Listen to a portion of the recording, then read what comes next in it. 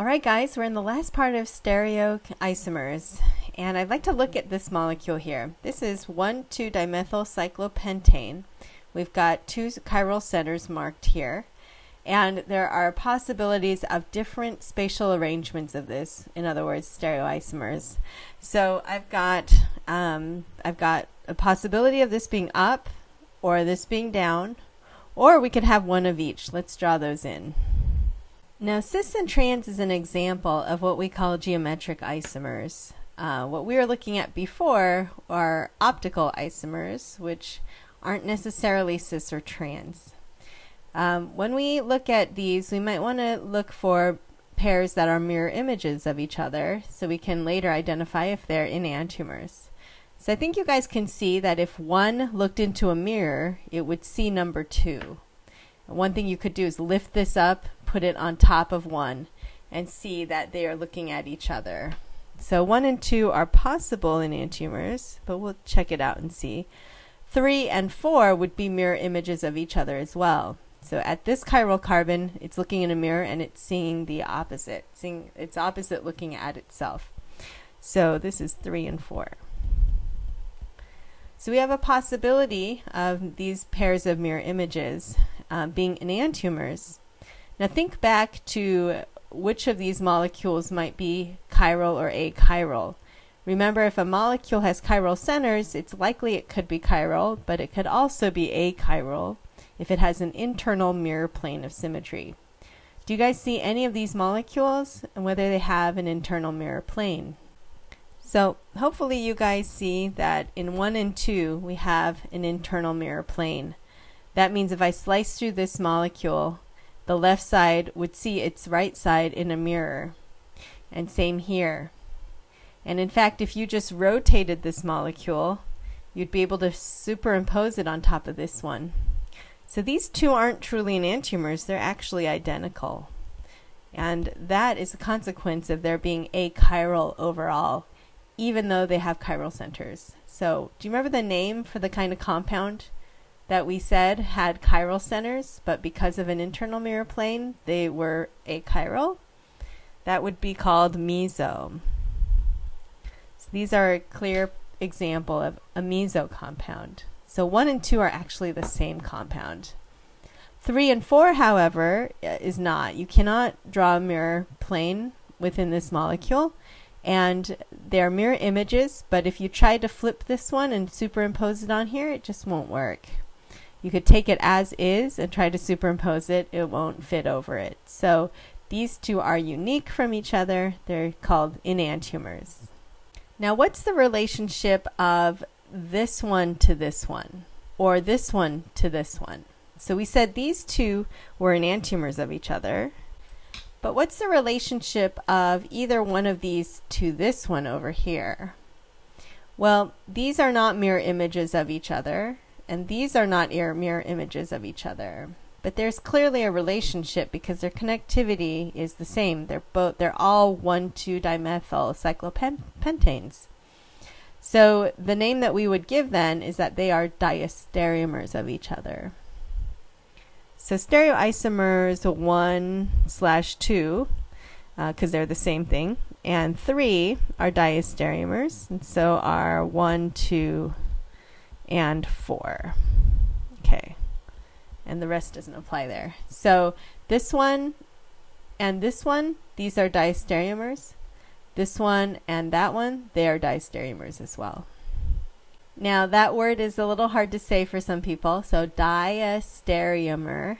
And I have heard people call them disastermers because uh, sort of a disaster uh, trying to uh, remember what that means. But um, Diastereomer are simply stereoisomers that are not enantiomers. They're not mirror images that are non-superimposable, but they are some other type of non-superimposable stereoisomer.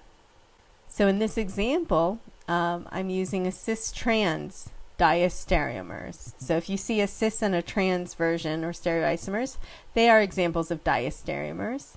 And thinking back to our, I'll draw it in the margin here, cis and trans 2-butene, for example. Here's trans, here's cis. They are clearly stereoisomers in the sense that their connectivity is the same, but their 3D spatial arrangement is different. But they're not mirror images of each other. If cis looks into a mirror, it doesn't see trans. So they're not enantiomers, so the only term left then is to call them diastereomer. Elsewhere, you may hear that they're called geometric isomers as well. So that might be a term, or structural. Well, structural is too generic. So geometric isomer or cis-trans stereoisomers or diastereomer. Now usually we also see diastereomers when we have two chiral carbons. Uh, and let me show you an example of where else we see diastereomers cropping up. So let's take this molecule here on my left.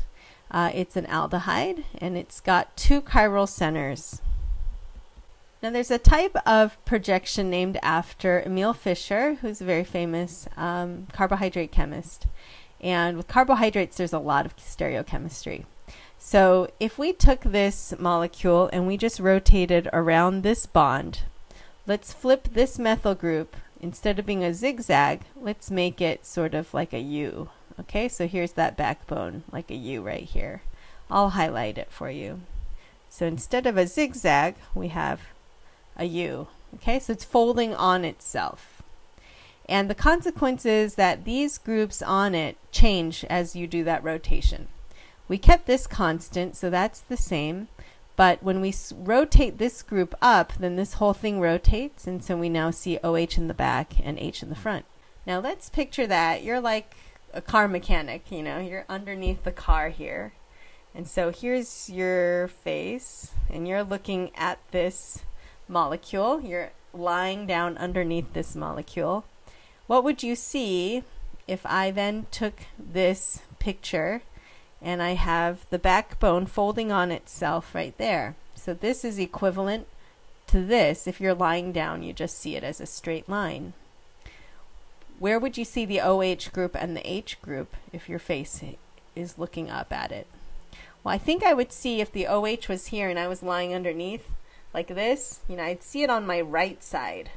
So here it is right here. So this OH is on my right side and this H is on my left side.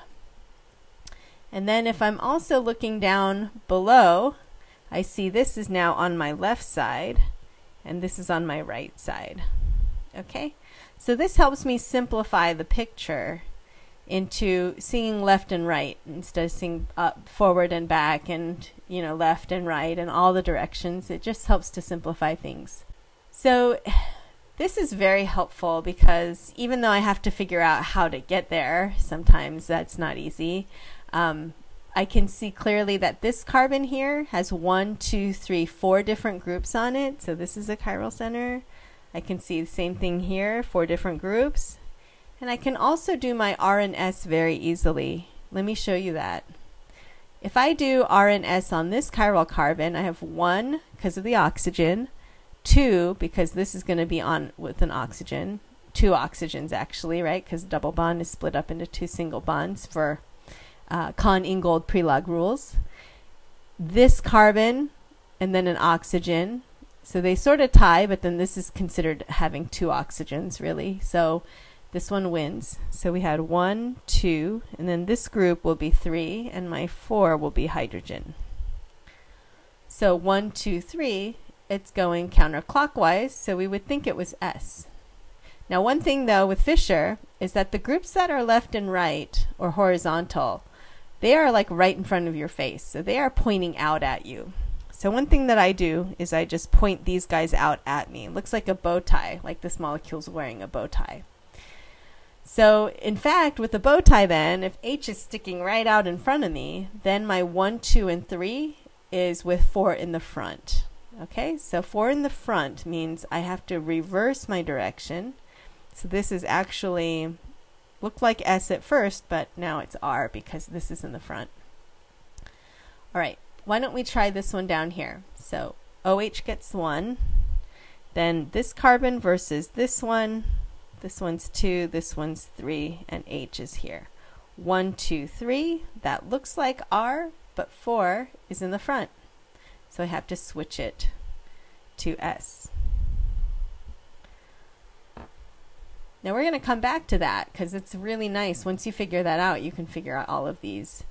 This one we said was R. This one we said is S. Now, one thing that Fischer is nice for is you once you have this, you can then change it to all the possible configurations. So instead of um, OH on the right here, let's say it's looking into a mirror, what does it see?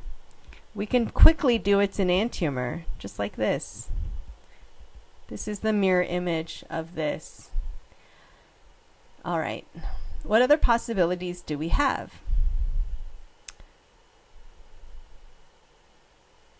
And if this is looking into a mirror and it sees the reverse, then this R center becomes an S.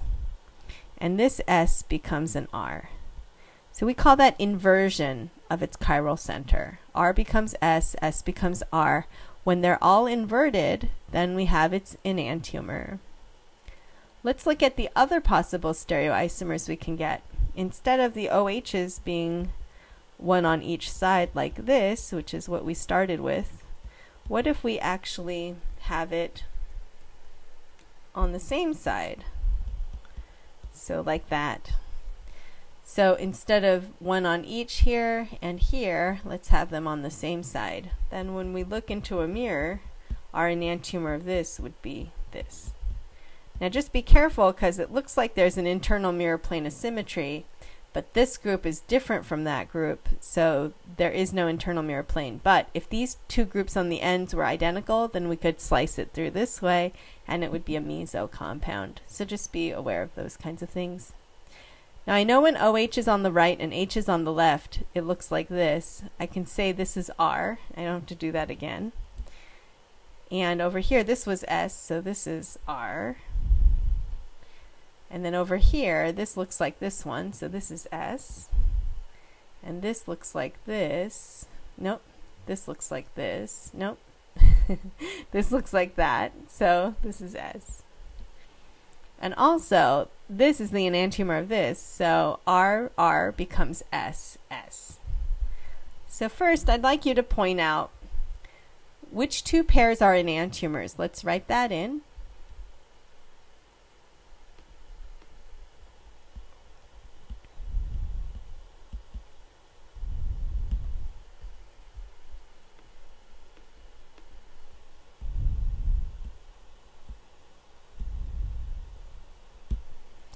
And now I'd like to ask you this question. What's the relationship of this to this? Are they enantiomers? And the answer is no. They're not mirror images of each other. You can see when H looks into a mirror, it sees H, but when OH down here looks into a mirror, it sees OH. So this part of the molecule looks almost like a mirror image, but then this part doesn't. So when you have a mix and match like that, they're still stereoisomers of each other. They still have the same connectivity, but um, they're not mirror images of each other. So that is where I would use the term diastereomer. And you can see any mix and match of that. So um, this one and this one are diastereomers. This one and that one are diastereomers. These guys are diastereomers. And these guys are diastereomers. Okay, so notice um, if you have two chiral centers here and they're both inverted, or two chiral centers here and they're both inverted, you have the enantiomer.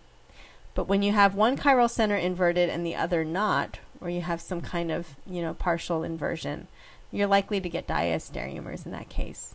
And then caveat is just check and make sure there's no internal mirror plane when you do this, because if there was, then it wouldn't be stereoisomers, it would be the same molecule. So to practice from our textbook here, you can see um, given two molecules, you should be able to tell are they enantiomers, diastereomers, identical, or none of the above, meaning they could be constitutional isomers or they could have completely different chemical formulas. Uh, just to recap what we did, we looked at Fischer projections and you could tell that this one is the same, but this one is inverted. Since they're not all completely inverted, what's the proper term here? this would be an example of a diastereomeric pair. All right, so I'd like you guys to go through and as you practice this, try to identify if any of these terms fit.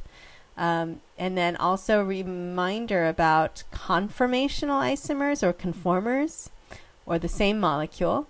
And then also you went over constitutional isomers. So for example, 1,2-dimethylcyclopentane versus 1,3-dimethylcyclopentane. So be aware of that, constitutional isomers. And if you see meso, remember they're the same molecule then. All right, so good luck with that, and let's come back and check our answers. All right, you're back. Okay, guys, now we're back. Um, these are pairs of diastereomers. Um, we went over that. Um, we have retention here, but inversion here. Um, here we have retention, but here is inversion. So this is diastereomer as well. Here we have um, enantiomers. Um, this configuration is reversed here as well as this here. And there is no internal mirror plane, so they're not the same molecule. If I take this one and put it on top of this one, they don't fit together. This does have an internal mirror plane, so even though these are chiral carbons here, this is what we call meso, so they're actually the same compound. And you can tell if you rotate this one that it'll fit on top of that one. Here, these are mirror images. Uh, and if I rotate that around, uh, it won't fit on top of that one. So these aren't enantiomers. This one is meso. This one is not. Um, these are stereoisomers of each other, but they're not mirror images of each other. So they're diastereomers. These aren't enantiomers because every chiral carbon is inverted and they do not superimpose. Um, and you can tell if we tried to superimpose them by flipping it, these groups would end up down here. With this one, if I redraw this one by flipping it, I would get this. And so we have inversion here, but not down here. So they're diastereomers. Um, here, these are inverted here as well as here. So we've got enantiomers here. If I, rot if I rotated it or flipped it, you could see that there's actually the same. Uh, and this side, you could also see mirror plane of symmetry as well if we slice down this way. So these are the same thing. Uh, here we've got enantiomers because two chiral carbons here are inverted and if you flipped one it would not superimpose on the other. And my last example is a cis-trans decalin. So this is um, cis and trans which are examples of a pair of diastereomers. Alright, this is often um, not so straightforward for most people so please do practice it and I'll have some practice um, online as well.